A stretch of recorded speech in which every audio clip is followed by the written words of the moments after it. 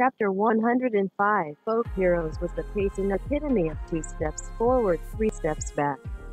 Jughead coming up with the answer of how to stop the mind control. Focusing on something else is a small and subtle tactic when done right.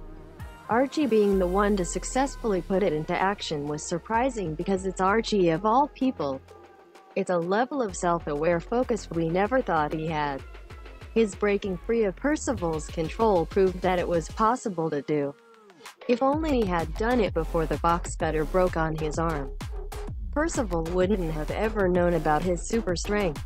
Though Veronica, Tabitha, and Toni teaming up to stop Percival's schemes was the true superstar moment. They didn't need any powers, except the power of business reasoning and pettiness. A few weeks ago, he had plotted to shut down Babylonium and eliminate the business. Now, he's renting the champagne room and offering to invest perform in the casino? It's a massive shift from his earlier schemes. Veronica, Toni, and Tabitha made the right decision to talk with one another. The truth will always outweigh any assumptions in business schemes they came up with due to revenge. Speaking of losing, Archie and Jughead were so close to stopping Percival.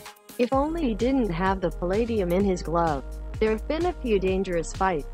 Like Archie in the secret prison fights or his boxing match against Hiram.